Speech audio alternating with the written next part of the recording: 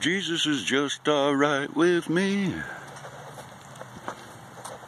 Uh, some pretty good sized roots right against poured foundation wall, caused cracks in the wall, caused a leaky basement.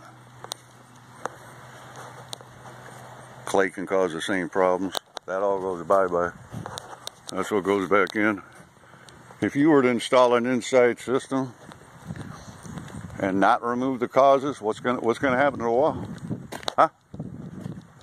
Whether they put carbon fiber straps or whatever the crap they put up every three, four, eight feet, whatever it is, and you're paying more for that junk than this, you're not removing any of the problems, the causes.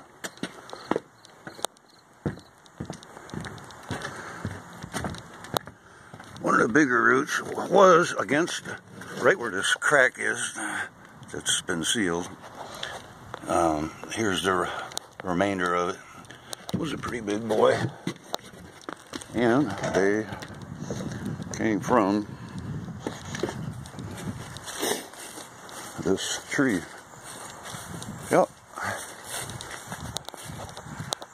Go ahead, do what you want.